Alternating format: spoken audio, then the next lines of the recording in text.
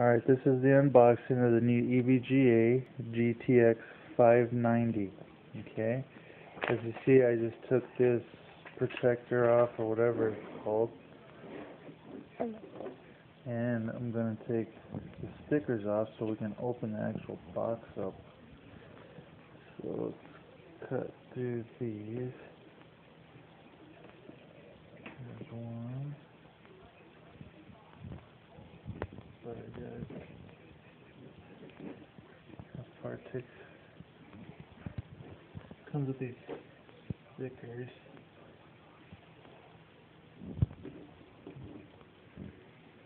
Alright, let's don't.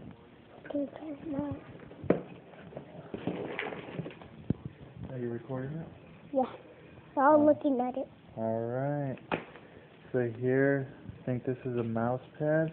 I think that's what it is for your GTX 590. Here you have a poster. We're all looking at it. What the heck is Michelle, stop. Sorry, this is my daughter helping me record. And here's a poster that it comes with. There we go. Michelle, stop. And here's a shirt. Pretty nice, pretty nice. GTX 590 shirt. Now let's get to the goodies. Are you recording it? Yeah. Alright, here we go. Here's the GTX 590. I'm pretty sure this is the driver software. Your manual. Some goodies. Looks like a DVI to HDMI. Looks like uh, DVI to VGA.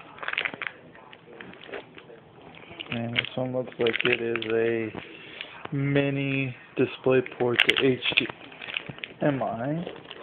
And then your power connectors. And let's get to the actual card itself. If you get the one with just the single version, uh, just one GTX 590, you only get one card. If you get the classified special version, the dual, the dual quad or whatever it's called, the quad SLI one, you get two um, GTX 590s. That's why the box looks like this. And here's the actual card itself. Oops. Let's take a look here. Get ready. Whoa, there it is. GTX 590. Look at that. That is beautiful. Yeah. You're running out of time. It's the classified. I think this lights up your power supply.